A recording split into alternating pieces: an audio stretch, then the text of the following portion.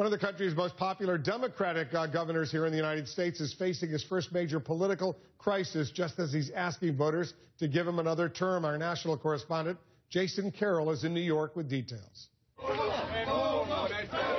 It was a key theme in New York Governor Andrew Cuomo's election campaign. So I am proposing a Clean Up Albany plan to fight corruption.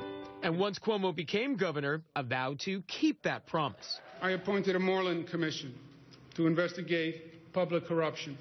Open up the newspaper, even today, and you see more and more stories of individual legislators who have done bad acts. Open papers now Headlines alleging corruption not with state legislators, but with the governor's office. It centers around that anti corruption commission he created and then disbanded. Sources close to the investigation confirm the U.S. attorney is investigating the disbanding of the Moreland Commission and whether the governor's office interfered with the commission's work. Interfered how? Allegations a top Cuomo aide tried to steer commissioners away from investigating a firm that had worked for the gubernatorial campaign. According to one commissioner, William Fitzpatrick, after talking with that Cuomo aide, he directed that a subpoena to an entity with ties to the governor be withdrawn.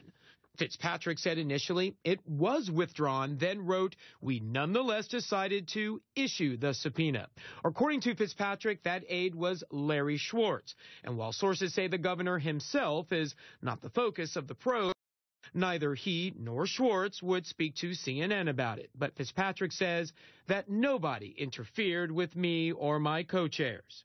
The governor did this to himself. He said, I'm going to set up this commission to stamp out corruption in New York State. And then uh, the allegation is that he his administration was not willing to play by the very same rules. Cuomo did defend the aide's actions during an event last month. He drew a distinction between interference and independence. The best evidence of independence is when someone from the second floor says, Well, why don't you do this? And then the chairman says, I disagree. I don't want to do that.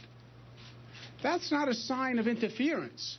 That is demonstrable proof of independence. Why is that not an attempt to influence an independent commission? It's called conversation and advice. I think that this is the kind of tap dancing that you can expect from people in public life